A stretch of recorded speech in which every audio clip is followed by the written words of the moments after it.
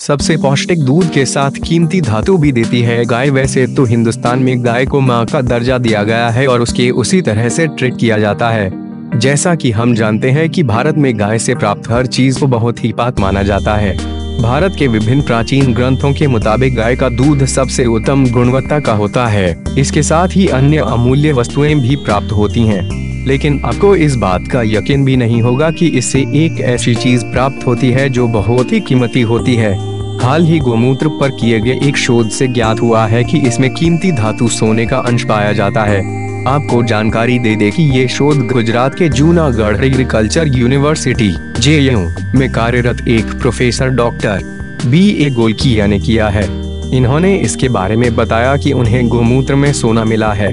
जानकारी दे दे डॉक्टर गोलकिया यूनिवर्सिटी के बायोटेक्नोलॉजी विभाग के मुखिया है। इनके द्वारा गे शोध में गिर नस्ल की 400 से भी अधिक गायों के मूत्र की लगातार जाँच की है। तो एक लीटर गोमूत्र से तीन एम से दस एम तक सोना निकाला पाया गया है। इन्होंने बताया कि ये कीमती धातु लवण के रूप में पाई गई है जो कि पानी में घुलनशील होती है।